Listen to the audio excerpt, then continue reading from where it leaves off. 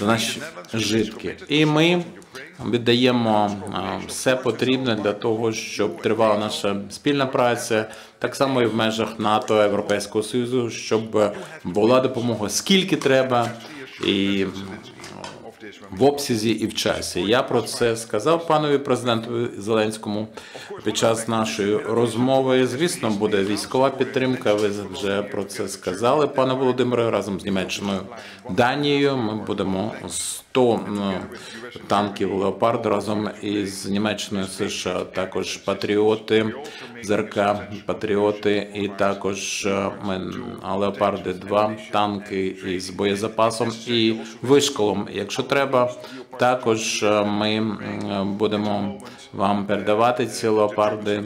Поки е, Німеччина надумала їх якось інакше застосувати, задіяти. Але ми маємо сказати, що треба робити все, що зможе, щоб Україна могла боронитися від е, жахливого насильства з боку Росії. І ви маєте перемогти. Ще раз скажу.